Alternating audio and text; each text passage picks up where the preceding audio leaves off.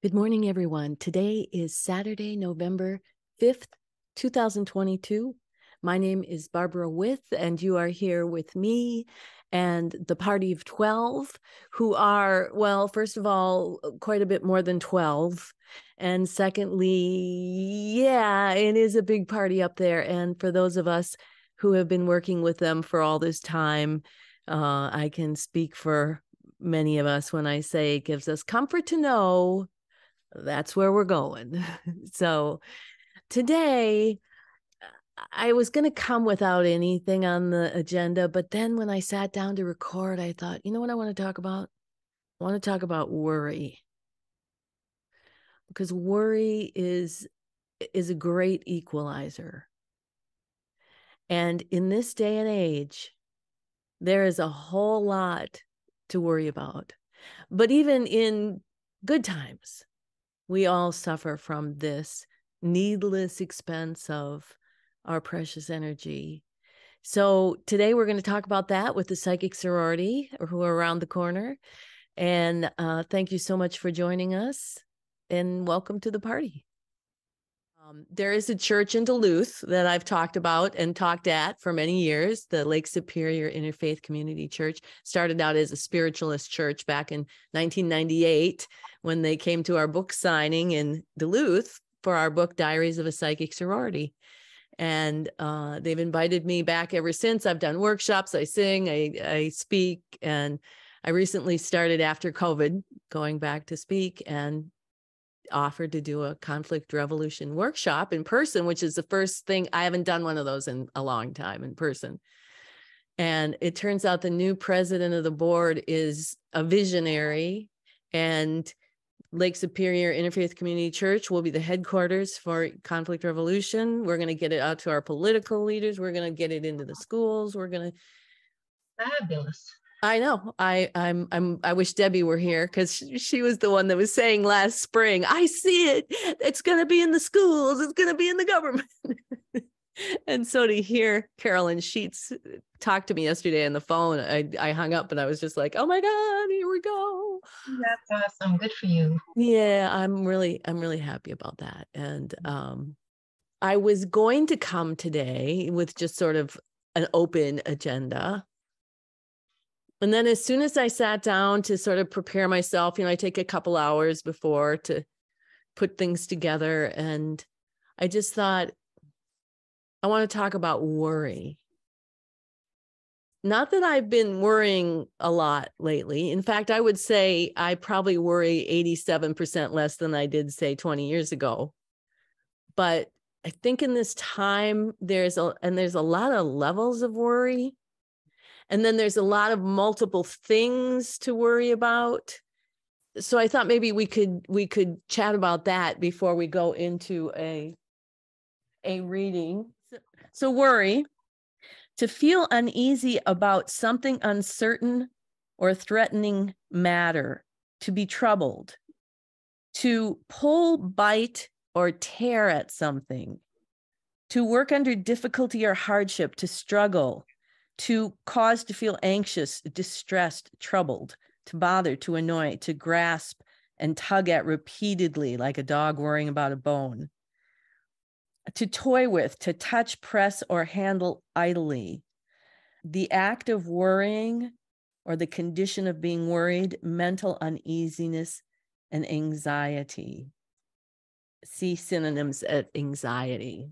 I, I started to think about how these conversations we've been having and Lynne you sharing your struggles with trying to stay in compassion and me sharing that you know i've got this side of me that comes out wagging her finger and having all this thing and it, it it occurred to me that that all of that is a form of worry.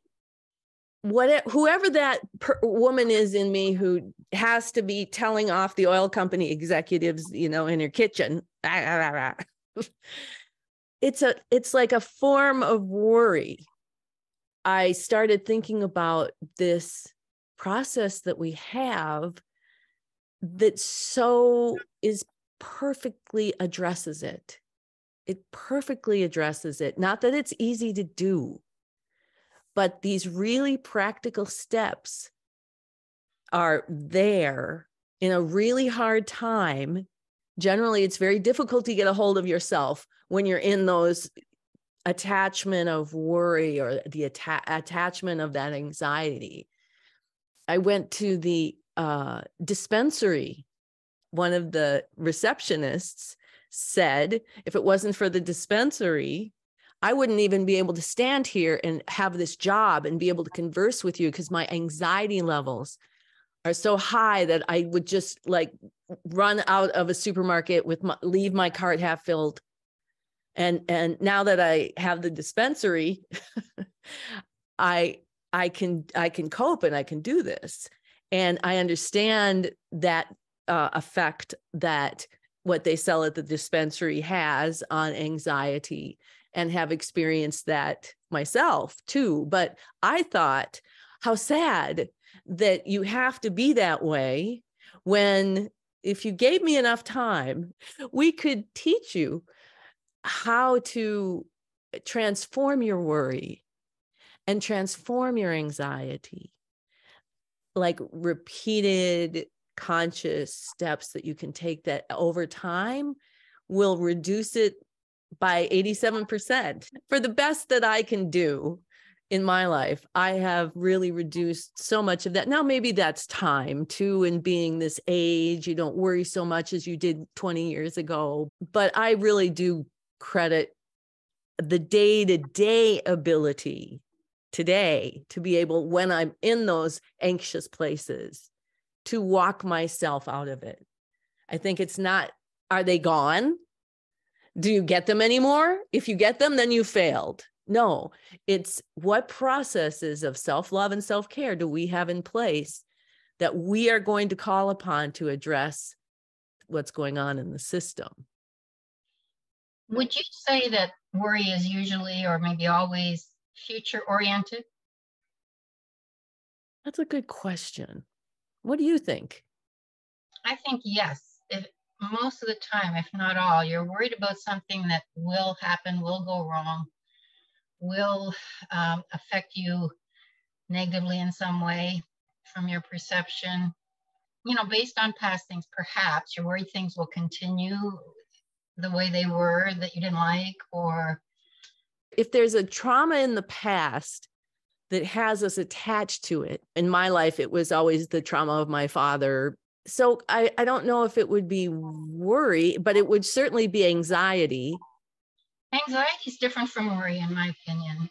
And of course, German medicine has a, German healing knowledge has a, a stance on that. Anxiety is a combination of feeling powerless and feeling like something's coming at you from the front and you can't step out of the way different from something something coming at you from behind that you don't see and then you know that's a different shock but it's a combination anxiety attacks in particular come from that combination of conflicts can correct one of them then you're out of it like if you can deal with the powerlessness do something to feel more powerful or to something to step out of the way of whatever you're you know concerned about then you're out of that constellation if you were i think worry can maybe lead to anxiety. I, I don't think worries, uh, for me, worry's not as intense or deep as anxiety. Well, maybe is worry the result of anxiety? Is is is worry that because anxiety isn't wouldn't we say anxiety is emotion? Well, so is worry, isn't it? Well, worry seems to me to be an intellectual activity Oh, okay. Right? If we're worrying about the future like you're saying, you know. And I I I don't disagree about what why would you worry about the past? I mean, the past is over, but well if not if they happen at the past, same time. if you've done something in the past that you're worried is going to be exposed or is going to cause you some whatever. But in the definition you read, Barb, um, the last thing you said was mental uneasiness and anxiety under the definition for worry. So worry itself is isn't an emotion. It's a it's a it's a mental activity. I think maybe that's the result of the anxiety. Anxiety, a state of uneasiness or distress about future uncertainties. Apprehension, worry, a cause of uneasiness, intense fear or dread, lacking an unambiguous cause or a specific threat. So it's all it's all it's kind of a state maybe more than is it emotion or is it this or that. It's a state to be in. Anxiety. Yeah, which is, you know, they they seem to be synonymous, anxiety and worry in whatever that. But I do I do feel them as different things as well. When we study Jinshin, Lynne and I, and I, I studied it for a long time, but we studied it together as well. Um, the releasing of the fingers deals with the different, they would say emotions. So so the thumb is worry.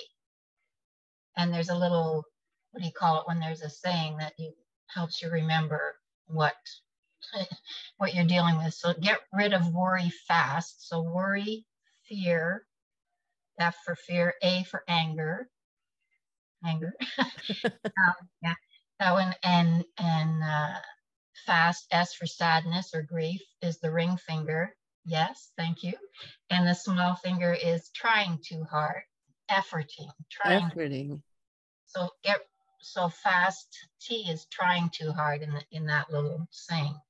Um, and that's uh, you know that we do that a lot. I think we try, I do anyway, or used to try too hard, over care of others. You know, various ways that you you know you strive to accomplish or be better or something instead of just being okay with what is and loving who you are. I, I do that both hands when I go to bed. I do it when I wake up during the night. I do it when I get up in the morning and just you feel a little pulse about eventually just hold each.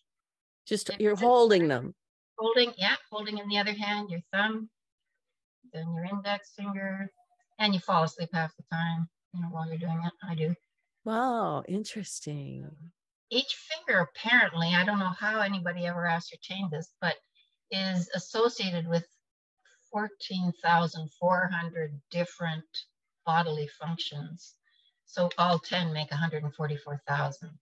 Now, don't ask me how anybody came up with that, but we'll have to verify those facts.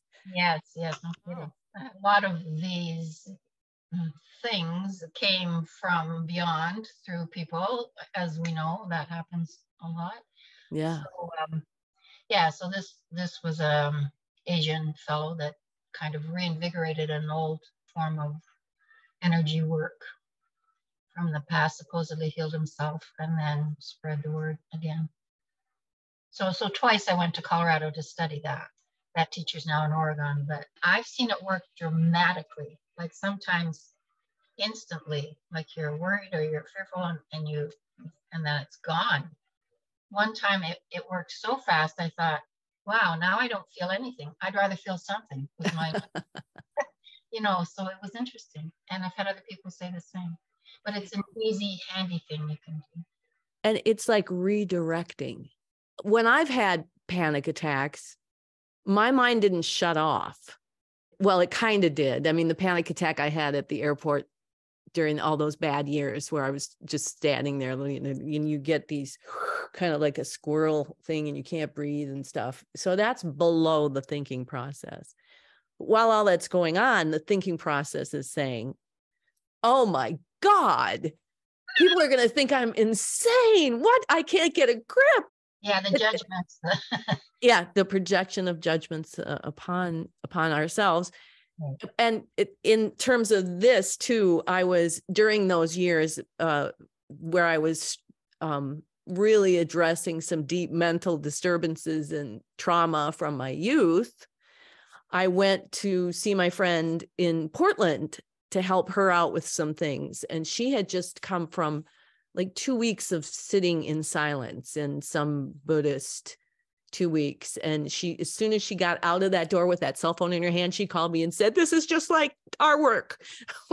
it's like, so while I was there and going through all my anxiety and such, she taught me the the scan just the head scan just do just make it to the toes and because i was flying home and a captive audience in a, a seat when i got out on my connection i was like really nothing gave me relief like that had given me relief up until that time too so yeah it's all energy mm, rebalancing or helping it flow because it's stuck, it's trapped, sort of.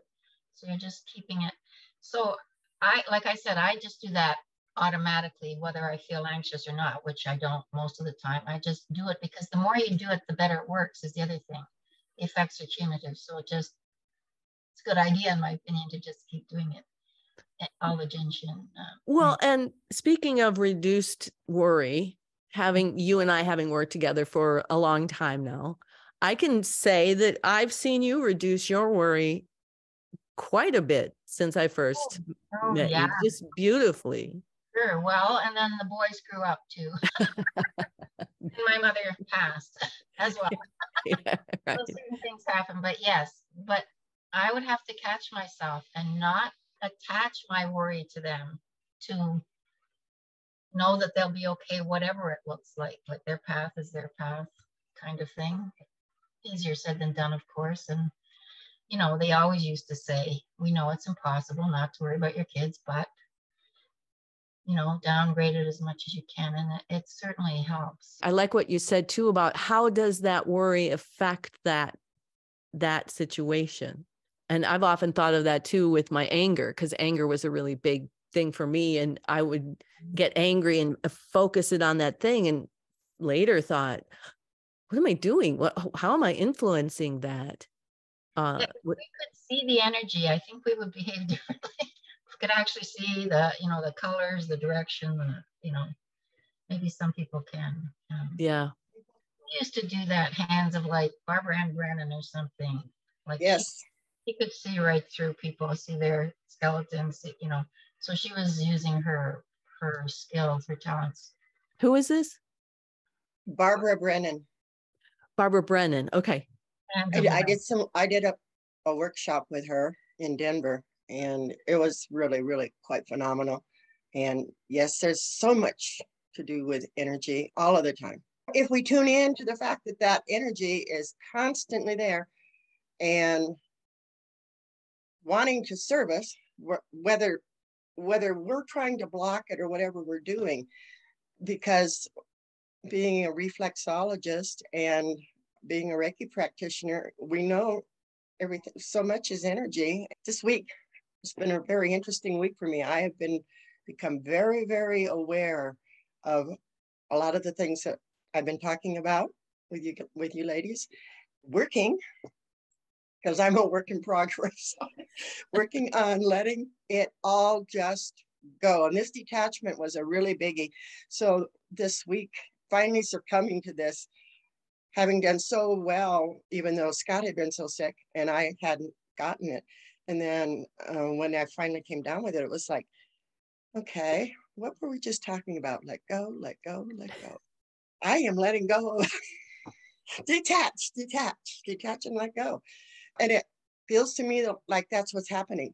Not panicking, not having an anxiety attack over what's going on, just looking at it, observing, and you know, this being thankful thing is a little bit tricky. Being thankful when we don't feel good, you know, uh, uh, this has slowed me down.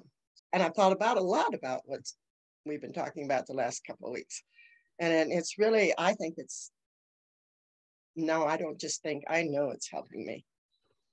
Going through that conflict revolution process to look at myself and where is my part in every bit of this, you know? And it's been big. And and through all of the different modalities and things that I've studied off and on over the years in trying to help myself, and they all have, by the way, they've all done li- their own little parts. And I kind of um, forgotten about some of the really phenomenal healings that I had through that those processes. It's it's an awakening as well, and you know we're we're awakening into a new humanity, a new way of doing things, and I think it's difficult to um, make these steps. But for me, I know I have to let go and of the the baggage and the garbage and the stuff that needs to come out to make room for the new that wants to come in. Well Yeah. said. if we can be grateful for all of that baggage and garbage and thank it on, you know, bless it or incorporate it or release it or whatever we're doing and see everything as an opportunity. Like you, Joanne, I don't I don't worry like I used to worry. And like you, Linda, just said, this new habit that I have of consciously saying, let it go, let it go. Like if I have to do it 25 times a day because I start to get attached to if I'm going to work at this place, but what if I don't? Let it go. Let it go. It gets more and more to where I can think all those years that I thought I was suffering. I mean, I probably was really suffering, but today, that was the richness of of being where I am. I'm so grateful for for for that suffering. What a rich life I've lived, you know starting our second lives, our new lives. Yes, our new lives and and just that we can have these conversations are creating the new humanity. Right. And that we're living this way. We're so awesome. yes, we are. And I, we're way ahead of our time, but uh, it doesn't matter because these conversations are timeless. What are what is time? Yes this is the human condition. I have a phrase that I came up with in a letter to a friend that went like this I am truly a full spectrum experiential human. I love that. The um the minister at the church, the visionary minister, Carolyn Sheets, is severely ADD. And I'm I'm pretty good at spotting anybody who has any kind of autistic spectrum ADD because I don't care one little bit. I totally get them and I totally get it. So being in her presence, I picked that up. But when she called me, she had this phrase about, she said, I, I'm really going to be honest with you. I'm severely ADD and I have to take care of myself. I have to make decisions and be honest with people and say no to them so I don't overbook and all that stuff but I'm asking you to partner with me on this. I said, I will absolutely partner with you on your ADD. Yes. So I thought that was again an, another reframing of essentially, I think, is an anxiety and a worry. When ADD makes you run out of the grocery store or you can't function because of it, it's there's some kind of worry in there uh, but we we we categorize everything and so what if those people considered AD, ADD and ADHD, okay, are on another wavelength and get their energy in a different way? And we just want them to be compartmentalized into society's normalcy. I don't know if it's that I want her to be in her normalcy. I want her to be ha- I want her to be happy and thriving. I don't want her to be living in anxiety where she has to run out of a grocery store because she's so afraid. Okay. All right. But I totally agree with what you said about that. You know, being ADHD myself, I've just developed a different methodology of having six or seven projects going at once throughout a day and training myself to be able to bounce from one to the other. And at the end of the day, I've got them done. But everybody can't do that. You know everybody who's ADD or ADHD can't. There's uh, there's what you say in their heads I think where oh you can't do it that way because we're supposed to fit into you know being able to do it this way. So in my undergrad in my 40s which was in the 90s this whole ADD and ADHD thing hit you know the media and everything and I was seen as ADD or ADHD, whatever it was. So I did what I do. I delved into research to find out what it was all about. And I was able to behavior modify. I found the information useful. And then I was able to behavior modify at each step of the way and came back with saying, well, if this is a condition, then it's something that I've been able to change. Is it a condition or is it something that we are labeling behaviors that in we what we need to be doing is empowering people in ways to be in the world that they find themselves in in a positive way. You know, the one that was really noticeable for me was body language. I had really not ever taken note of body language. And I read a whole thing on it. And I was fascinated. Yours? No, people around me. I work at such a high mental velocity that it just wasn't, it wasn't in my, I don't know, it, it just didn't catch for me. But once I knew about it, got it fascinating. It became a real fascinating subject.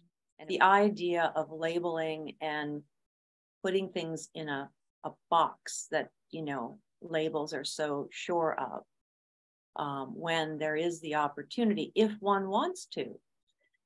Yeah, I I agree, and I've I always used to say that I don't I would never have labeled myself anything, but I have experienced the conditions that are described in those labels. Uh, so ADHD is a condition that's modifiable. I mean, well, you've proven it. I've proven it. It's modifiable. Right. Everything is. Everything. Right.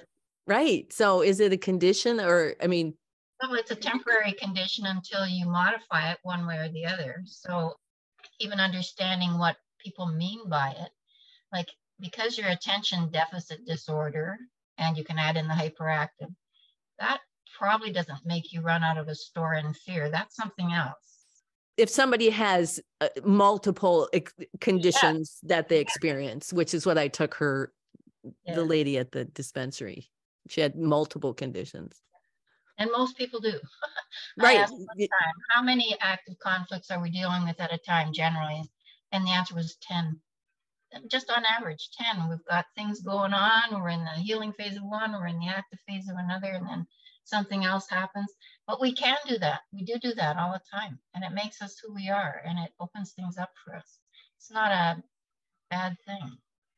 So, going back to Linda, who is now under the covers and having this thing, that's the healing phase of the resolution of the conflict. You you express this transformation that you feel like you're going through because and, of this conscious effort to let go. Yes. And, and I then, feel that way. And so now it's letting go out of your body. And I and, feel lighter. I feel kind of like weight's been kind of lifted off my shoulders, so to speak. I've had two anxiety attacks, by the way, both been in within the last six years. Uh, not, nothing just real recently, but I was trying to think back if I could even remember what the trigger was. When it hit, it was like I could not breathe. I couldn't breathe at all. I couldn't take a breath. And I have a neighbor that's had a couple, two or three of them ended up in the hospital. She was driving her car when one hit. Literally, I mean, oh, just stopped right in the middle of the road. She's an ex police person. And I, I was kind of trying to think back where did these come from for her out of nowhere? in a way, but that's not true. They didn't come from nowhere because I think they might be the um, the culmination of the little anxieties, the little um, things we're talking about subconsciously, possibly, and maybe more than one layer of subconsciousness, maybe way down deep in our subconscious, the impact of it trying to, I don't know if it's trying to get out of us. I, ca- I cannot think back to what was the trigger. You know, it was like it just came from nowhere. I, I used to be a very severe asthmatic. That's what brought me onto this path was my own physical health. I just got more ill, more what more whatever it was, to the point of just asking God, the universe, whatever, to show me a way to help myself. And that's what brought me on this path many years ago. And I I was able to stop a full blown asthma attack in less than three minutes and get off all my meds. I'm not going to say I'm backpedaling, but I kind of forgot some of the things that helped heal me that that brought me to where I am am today. And I think a lot of this is coming up for me right now.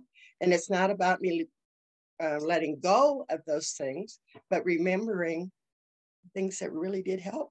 And going back and using some of them again. I'm using the reflexology. I'm using I'm using the Reiki. I'm I'm I'm using a little bit of all of a sudden all of these things that I have used in the past.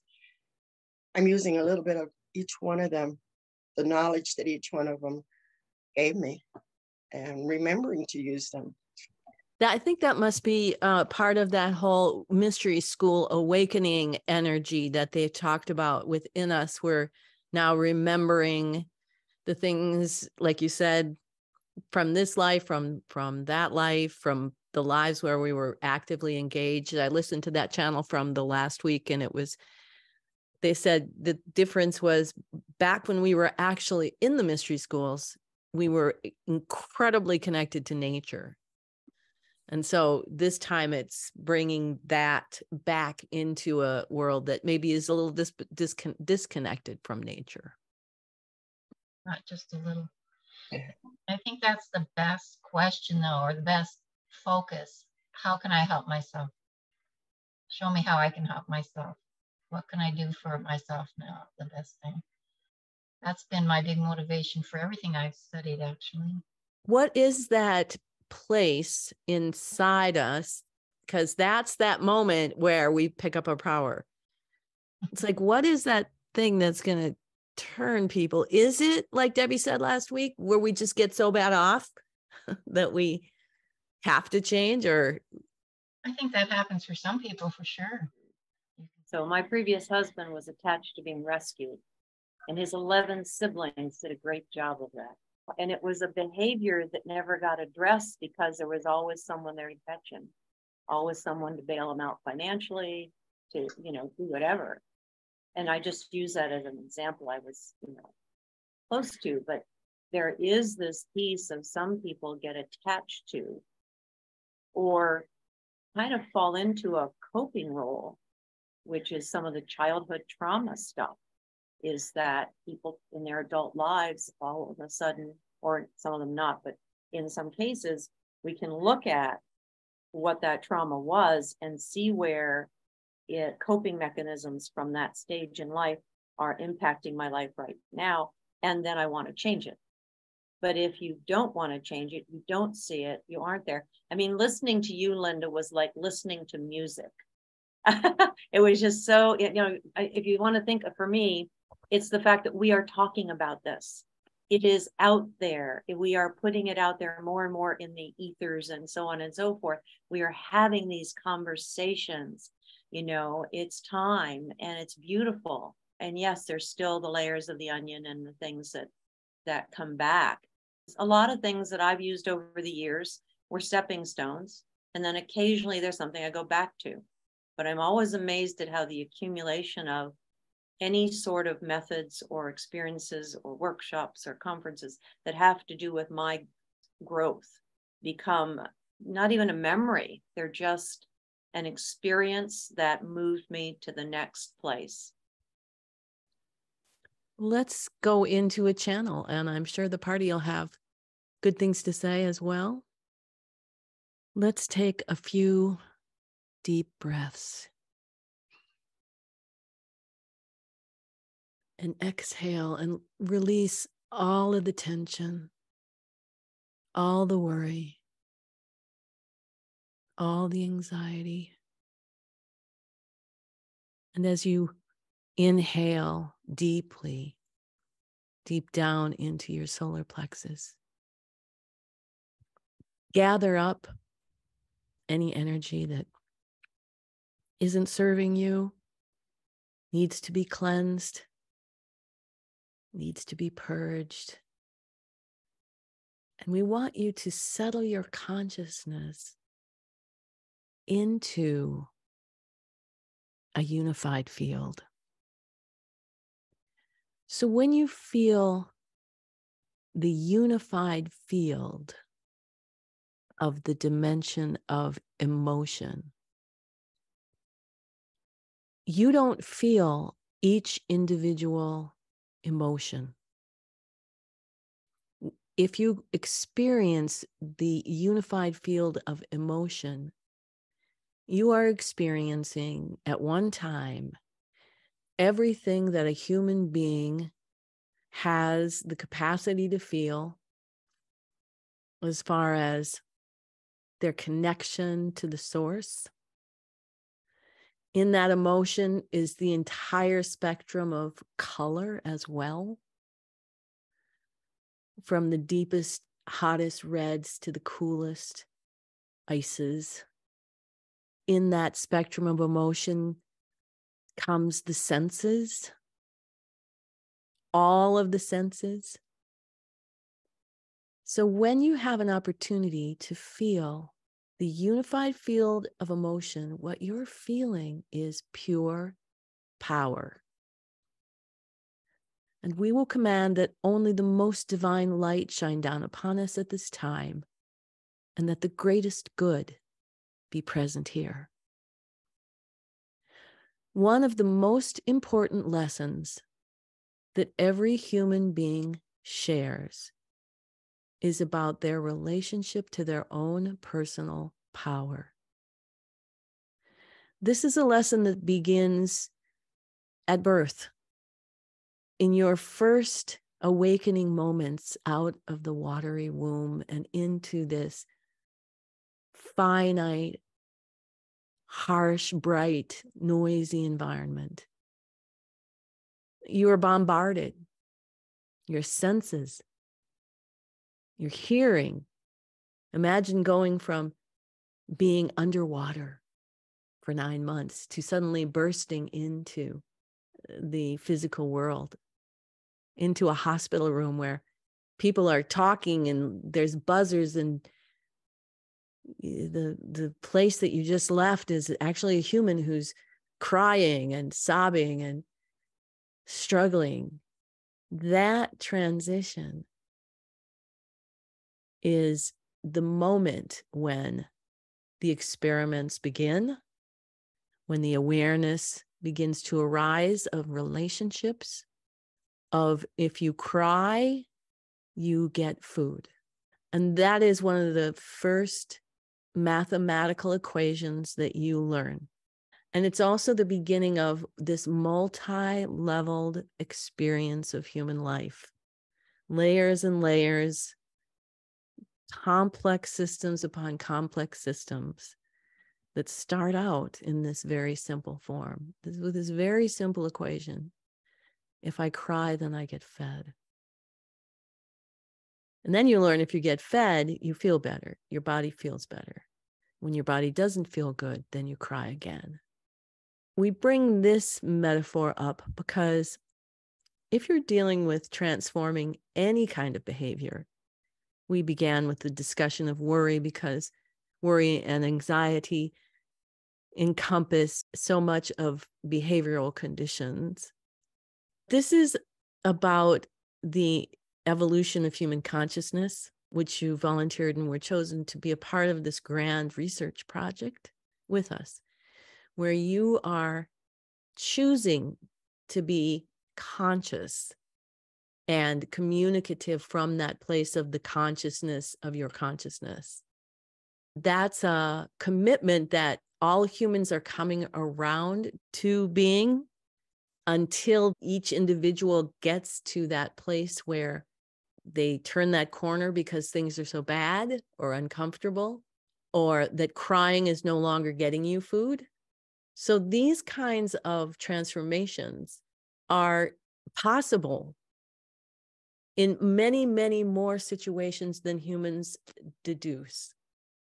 We were talking to you, uh, our research project, who have committed to being conscious of their consciousness and communicating about it. So you have a jump up on the general population of the planet right now, although there are millions and millions and millions and millions of people like you doing very, very, very similar, if not exacting things that we're doing with you here. When you tap into that synergy, you begin to understand how your little bit of individual power can actually hold as much power as God has in the palm of your hand. You can bring life, you can take life.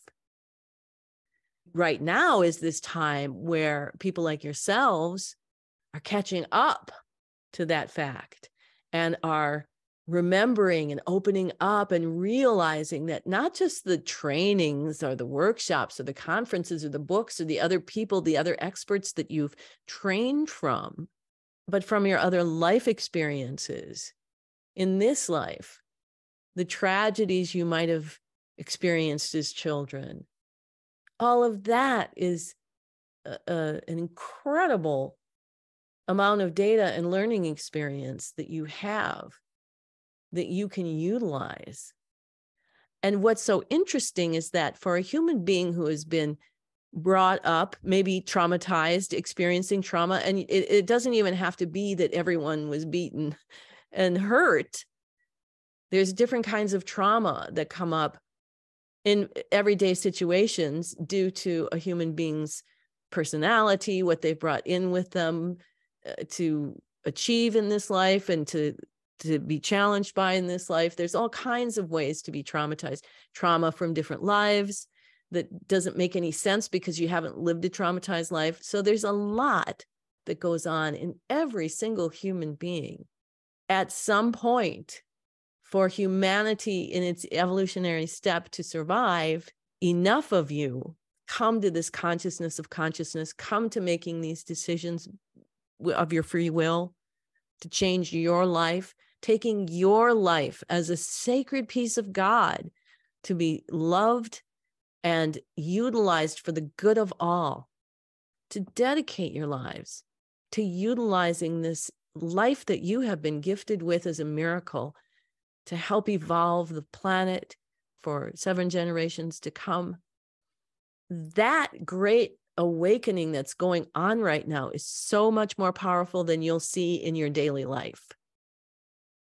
And that's why we want to come to you as much as possible once a week to remind you of that. And every time that you come together and you share your stories and you share your sorrows and your triumphs and you each learn from the synergy that's going on, that's a huge amount of energy between four, three, four, five of you. You're changing each one of you is changing with that support. And that's what we said when we began at the beginning of the year, when we wanted to do this on a regular basis for you, to give you the support, to bring you together. As you've said, your work is timeless. This information is just the beginning of what's going to be able to be passed on to generations. And soon, like all of those books that you talked about earlier in the season, the books and the videotapes of the various trainings and the conferences that you give away because you did it and you incorporated it into your energy and it is there for you to accept and awaken to to remember and to unify in everything and own and and be grateful for as a gift. So it's almost like you have this huge power plant and every time you come across a memory that had been suffering and you reframe it into being that gift of wisdom you add to the power plant you add to the battery cell. The more that you do this awakening the more you're going to spend in intention. The more time you're going to spend when you're frustrated or triggered, that you're going to channel that trigger of emotion into an intention for the greatest good, whatever that looks like. That's the new humanity. That's the new humanity that's being birthed. The fact that we have this extraordinary opportunity to be with you, to work with you behind the scenes, to come together with you on a regular basis to help support your search for that strength because this work you're doing is a laser focus into the future of creating that new humanity. You're doing it now, it's in the present, but you're affecting generations to come.